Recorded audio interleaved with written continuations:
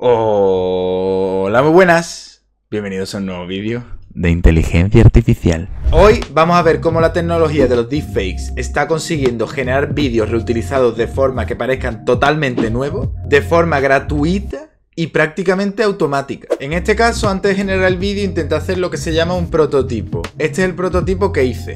Google ha decidido invertir 200 millones de dólares en Anthropic, compañía competidora de OpenAI. La noticia la ha avanzado de Wall Street Journal y ha confirmado a lo largo de las últimas horas. Este prototipo lo hice en prácticamente 5 minutos después de masterizar el workflow que os voy a enseñar hoy y me generó 2600 visitas. Imaginarse si ustedes hicierais algo así, un canal automático de noticias de inteligencia artificial.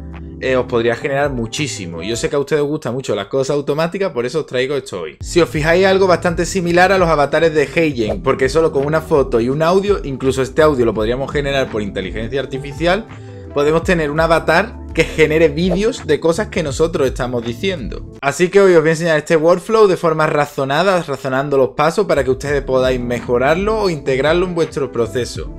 Sin más dilación, comenzamos con el vídeo. La primera parte del proceso que vamos a ver hoy es la generación de un deepfake. Para generar un deepfake, lo primero que necesitamos es un actor. Con una foto de ese actor nos vale. En este caso, hoy el actor voy a ser yo. Luego necesitamos un vídeo, que es el que le vamos a reemplazar la cara. Un vídeo donde esté ese actor. Pero por facilidad os recomiendo vídeos que sean de muy buena calidad donde solo haya una persona y realice la acción que estamos buscando. Por ejemplo, si yo quiero reemplazar a un presentador de informativo, pues busco un vídeo de informativo. Voy a buscar uno de España. Si recordáis mi antiguo vídeo sobre deepfake, que tuvo bastante éxito, os enseñaba a cambiar la cara con solo un clic. Ahora es una herramienta un poquito mejor la que os voy a enseñar hoy porque permite ciertos cambios, permite que la cara tenga mayor calidad, pero creo que esta herramienta es muy buena. Además se puede integrar en Pinocchio, que lo explico en mi vídeo de llama cómo se instala Pinocchio, que Pinocchio es una herramienta que te permite con un solo clic instalar una herramienta con inteligencia artificial. Y esta nueva herramienta que os cuento se llama Face Fusion. Supongo que si estáis familiarizados con los deepfakes ya la conoceréis porque esta herramienta es una pasada. Y si no la conocéis, por favor, probadla, ¿eh? Probadla. Antes de continuar, recordaros que si os suscribís a mi canal me ayudáis un montonazo y para ustedes un simple clic. Todavía hay mucha gente que ve mi canal y no se suscribe, así que no os cuesta un segundito darle al botón de suscribir. Si abrimos la herramienta de Pinocchio, tenemos aquí Face Fusion. Le damos a Launch in Normal Mode. Sobre Pinocchio, como he dicho, ¿eh? ya lo explico en mi otro vídeo y eh, no tiene pérdida, es muy sencillito. La herramienta Face Fusion parece muy difícil, pero la verdad no tiene pérdida. Os voy enseñando un poquito lo que vamos a hacer. Vamos a directamente trabajar sobre ello y os lo voy explicando bajo la marcha. Eh, face Swapper, para cambiar de cara. En este caso queremos cambiar de cara. Face Enhancer, para mejorar la calidad, lo tenemos que poner también, ¿vale? Poner Face Enhancer en 100, Face Enhancer. Eh, quitamos CPU y ponemos CUDA. CUDA es para que lo haga con vuestra tarjeta gráfica. Si no tenéis una buena tarjeta gráfica, tendréis que elegir CPU. Aquí cargamos la cara mía, yo la tengo aquí preparada, mi cara. Y en el otro lado cargamos este vídeo de aquí. Os recomiendo que sea una foto, aunque sea un poco denigrante, donde se vea bien vuestra cara. Y eh, en salida, si queréis una muy buena salida, podéis poner aquí 100. Pero yo creo que con 80 va a estar bastante bien. Una vez hagáis esto, que es muy simple, simplemente le tenéis que dar a Start y se os generará el vídeo con el deepfake hecho. Una vez haya cargado, ya tenemos aquí el vídeo salida. Aquí le damos a descargar o play y ponerlo en grande. Le damos al play el teletrabajo ha sido una solución para evitar los contactos en la oficina y los desplazamientos entre la casa y el trabajo. Pero un estudio nos dice también que resulta que trabajamos más cuando trabajamos en casa. Aumenta en torno a dos horas la jornada laboral. Leticia Barquín. Si os fijáis ya tenemos un vídeo con nuestra cara, pero este vídeo no está diciendo lo que nosotros queremos. Entonces primero vamos a grabar el audio diciendo lo que nosotros queremos. Para ello vamos a buscar una noticia cualquiera.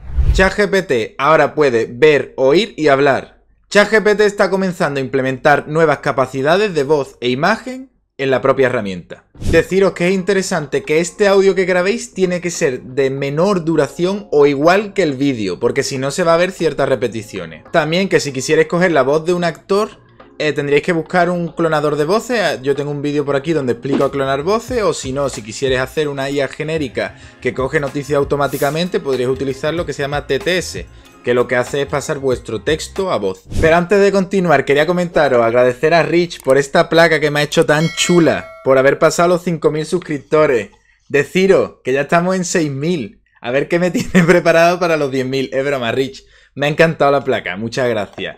Con esta empresa en 3D, tallado a mano mi nombre. Tenéis un short donde la enseño, por si os molaría ver la placa. También comentaros que estoy cambiando de casa, mucho diréis, ¿qué me importa? Pero contaros que he pasado muchísimos problemas desde la compra hasta poder ir a vivir. La compré hace dos años, ¿vale?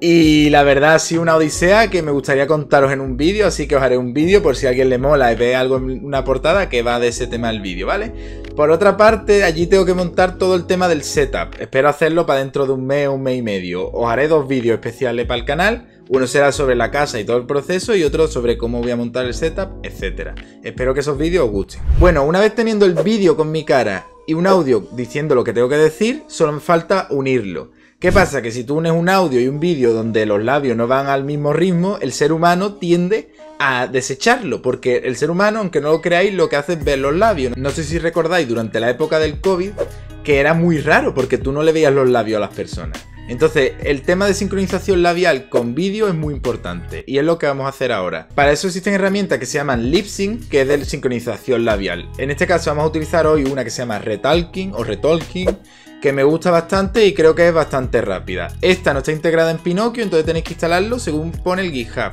Os lo voy a dejar en la descripción donde explica cómo instalarlo. Esta herramienta es bastante sencillita como podéis ver porque es muy fácil. Hay que poner el vídeo y el audio, ¿vale? Entonces lo primero, el vídeo tiene que ser lo que generamos en el paso del deepfake, que era este vídeo de aquí. Y el audio es lo que hemos grabado en el segundo paso, que sería este de aquí le damos a Synthesize y esto va a encargarse de hacer que parezca que está diciendo eso. Una vez ha terminado, lo mismo, lo podemos descargar aquí, pero antes le, ponemos en pantalla grande y le damos al play. ChatGPT ahora puede ver, oír y hablar. ChatGPT está comenzando a implementar nuevas capacidades de voz e imagen en la propia herramienta. Como podéis ver, el vídeo sale bastante chulo, pero si os fijáis, Retalking todavía tiene un problema y es que le quita calidad al vídeo. Entonces vamos a pasarlo por un upscaler que se llama, una herramienta que le dé un poquito de más calidad al vídeo. Después de haberlo probado, os recomiendo una herramienta que es de pago que se llama Topaz Eye. Esta herramienta no me está pagando, evidentemente, pero la verdad que si sois una empresa seria que queréis hacer algo grande, sí os recomiendo que invertáis en una herramienta como esta que es muy buena. Si no tenéis ese dinero para invertir y sois personas como yo eh, que lo hace por gusto, os recomiendo una herramienta gratuita que vamos a ver ahora. Esta herramienta te permite mejorar la calidad de los vídeos de una forma gratuita. Podéis ponerla en local o en la nube. La nube trabaja bastante bien, así que mientras se pueda os recomiendo aprovecharla en la nube, ¿vale? Versión 1.4 y escala. Con poner escala 2 es de sobra. No os recomiendo aumentarle la escala. Cargamos el vídeo que queremos upscalear, ¿vale? Y le damos a Run. Simplemente así, después nos saldrá el vídeo en tamaño grande. Y bueno, espero que haya gustado la técnica que os he enseñado hoy. Yo aún sigo flipando con lo rápido que avanza el sector.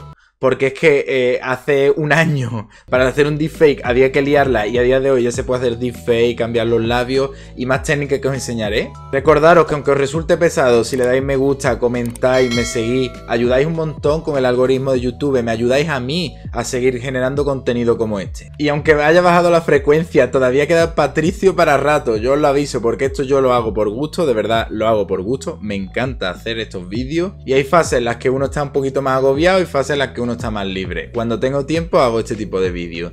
Y de verdad me he quedado flipado de todo el apoyo que he recibido activo. Mucho tiempo sin subir vídeo y todavía sigue muchísima gente viendo mis vídeos. Así que me gusta dejar este granito de arena a YouTube y dejaros este granito de arena a ustedes. Por si estáis viendo este vídeo mucho tiempo después de cuando se grabó. Nada más, muchas gracias a todos mis miembros que me apoyáis un montón, mis suscriptores y los que me veis vídeo a vídeo. Os quiero muchísimo. Un besito.